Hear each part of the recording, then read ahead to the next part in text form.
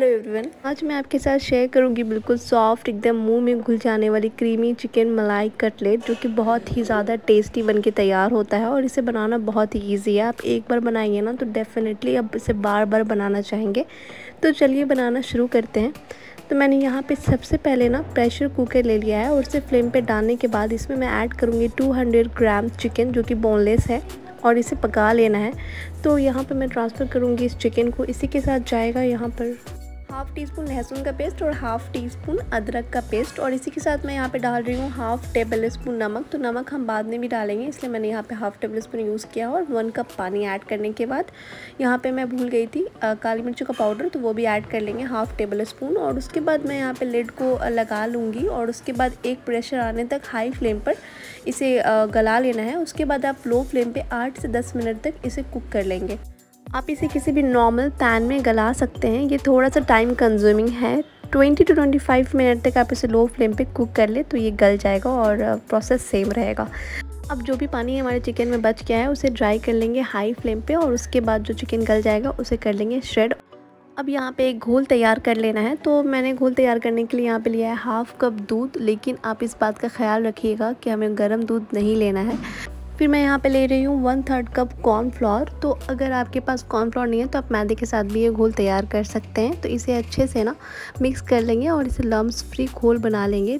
अब यहाँ पे हमारा घोल तैयार है और फिर मैं यहाँ पे ले रही हूँ एक पैन उसे मैंने हीट कर लिया है। उसमें डालेंगे बटर तो बटर थोड़ा सा मेल्ट होने के बाद मैं इसमें ऐड करूँगी एक प्याज जो कि बारीक कटा हुआ है। तो यहाँ पे एक मीडियम साइज़ का प्याज मैंने लिया है। उसे बारीक काट के इसे सॉटे कर लेंगे। और प्याज को हल्का सा सॉफ्ट हो जाने तक फ्राई कर लेंगे। सिर्फ़ सॉफ्ट करना है, प्याज को ज़्यादा फ्राई नहीं करना है। तो जैसे ही हमारा जो प्याज है वो सॉफ्ट होना शुरू हो जाएगा, यहाँ पे मैं ऐड करूँगी फ्रेश मलाई। मतलब मैंने दूध की यहाँ पे मलाई ली है, फ्रेश। अगर आप चाहो तो क्रीम भी ले सकते हैं तो फ्रेश होना चाहिए, इस बात का ख्याल रखिएगा। तो मैंने यहाँ पर टू टेबल स्पून ना फ्रेश क्रीम डाला है और इसे मिक्स करते हुए मैं यहाँ पर ऐड करूँगी रेड चिली फ्लिक्स। तो मैंने यहाँ पर one tablespoon red chilli flakes add किया है। अगर आप चाहो तो ज़्यादा कम कर सकते हैं, अपने टेस्ट के अकॉर्डिंग अब मैं यहाँ पे डालूँगी दूध के साथ जो मैंने कॉर्नफ्लोर का घोल बनाया था, वो मैं इसमें ऐड कर लूँगी। और आप जैसे ही ऐड करेंगे ना, आप इसे मीडियम टू लो फ्लेम पे डालकर इसे स्टर करते रहेंगे, वरना ये बहुत जल्दी थिक हो जाता है। तो आप इसका ख्याल रखेंगे और चलाते रहेंगे इसे। तो यहाँ पर देख रहे हो आप थिक होना शुरू हो गया है। तो मैं यहाँ पर इस पॉइंट पर थोड़ा सा नमक ऐड करूँगी, क्योंकि मैंने पहले भी ऐड किया था।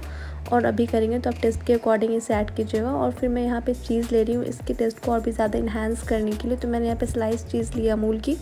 आपके पास अगर क्यूब हैं तो आप वो भी ऐड कर सकते हैं। तो अगर आपके पास चीज़ नहीं है ना तो आप स्किप कर देंगे। इसके बगैर भी ये बहुत टेस्टी बन के तैयार होता है। चीज़ डालने से जो हमारे कटलेट्स हैं, वो ज़्यादा क्रीमी और चीज़ी बनेंगे। तो आप चाहें तो आप चीज़ ज़रूर ऐड कीजिएगा। तो बस यहाँ पे जो हमारा मिक्सचर है वो तैयार है। चलते हैं नेक्स्ट प्रोसेस की तरफ़, क्योंकि हमें ना कटलेट्स को कोट करना है तो मैं यहाँ पे अंडे का घोल बना लेती हूँ। तो मैंने यहाँ पे दो अंडे लिया है नॉर्मली आप इसे पोर करते हुए इसे मिक्स कर लेंगे और लम्स फ्री घोल बना लेंगे।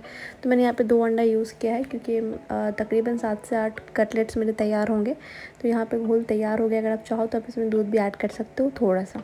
तो चलिए कटलेट्स की मिक्सचर बना लेते हैं। तो मैंने यहाँ पे एक बाउल ले लिया है और यहाँ पे मैं चिकन लूँगी सबसे पहले, जिसे मैंने इस तरीके से स्प्रेड कर लिया है। अगर आप चाहो तो और भी ज़्यादा इसे स्प्रेड कर सकते हो। मैंने थोड़ा मोटा मोटा ही रखा है। तो मैं यहाँ पे चिकन ऐड कर रही हूँ और इसी के साथ मैं यहाँ पे ऐड करूँगी वही मिक्सचर जो मैंने कॉर्नफ्लोर वाला बनाया था। ये ठंडा हो गया था और इसकी कंसिस्टेंसी ऐसी ही रखनी है। ये पतला नहीं रहना चाहिए, वरना कटलेट्स बनाने में मुश्किल हो जाएगी। तो मैं यहाँ पे ब्रेड क्रम्स ले रही हूँ। मैंने लगभग दो ब्रेड के क्रम्स को ग्राइंड कर लिया था और इसे बाइंडिंग के लिए यूज़ करेंगे। इसी के साथ मैंने कुछ यहाँ पे धनिया के पत्ते और थोड़ी सी हरी मिर्च ऐड कर ली है।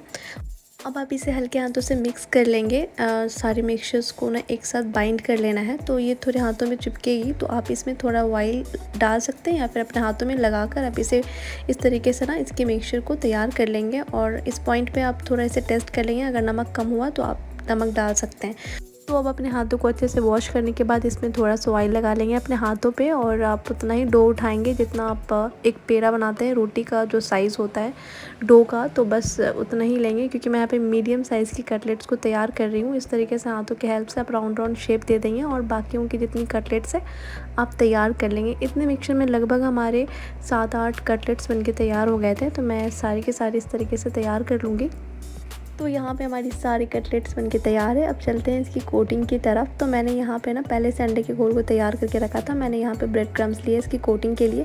अगर आप चाहो तो ना कॉर्न फ्लेक्स भी ले सकते हैं और भी ज़्यादा क्रिस्पी और क्रंची बनेगा। तो मैंने यहाँ पे डिप किया अंडे अंडे के घोल में। उसके बाद मैं यहाँ पे ना ब्रेड क्रम्स में डाल के इसे चारों तरफ़ से बहुत ही अच्छे से इसकी कोटिंग कर लूँगी। और आप ना पूरी तरीके से इसे कोट करने के बाद आप फ्रिज में भी स्टोर कर सकते हैं। तो इस तरीके से मैं सारी की सारी कटलेट्स को कोट कर लूँगी इसी प्रोसेस के साथ। पहले अंडे में डिप करना है, उसके बाद ब्रेड क्रम्स में। तो यहाँ पर हमारा एक कटलेट कोट हो चुका है। तो बाकियों की भी मैं ऐसे ही कर लूँगी।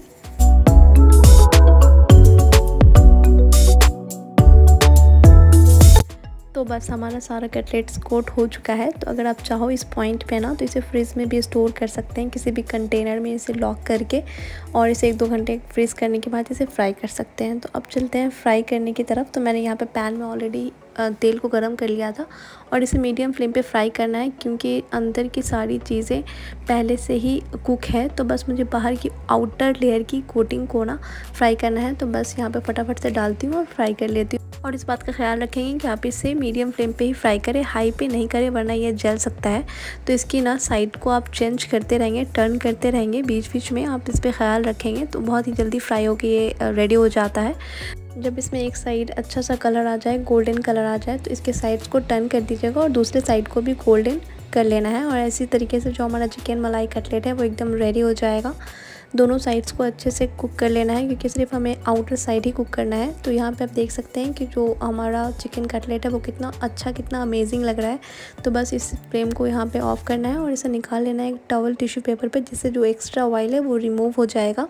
आप देख सकते हैं कि जो हमारा चिकन मलाई कटलेट है, वो कितना परफेक्टली बाहर आउटर साइड इसका गोल्डन हुआ है और बहुत अच्छा लग रहा है। तो आप ज़रूर से इसे ट्राई कीजिएगा।